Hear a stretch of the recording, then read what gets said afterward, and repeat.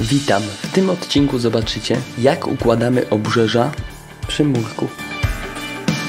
Obrzeża zostaną obsypane kamieniami, a wszystko po to, by podczas deszczu błoto nie chlapało na mur. Wyznaczamy linię obrzeży, kopiemy na głębokość około 25 do 30 cm poniżej sznurka.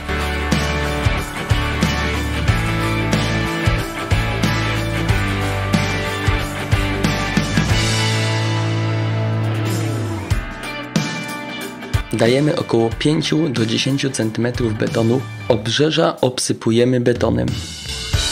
Przed wysypaniem ozdobnych kamieni koryto wykładamy włókniną.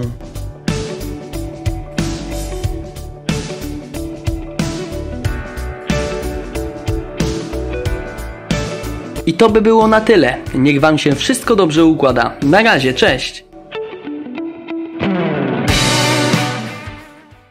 Zostaw łapkę w górę, komentarz i subskrybuj nasz kanał. Pozwól nam się rozwijać.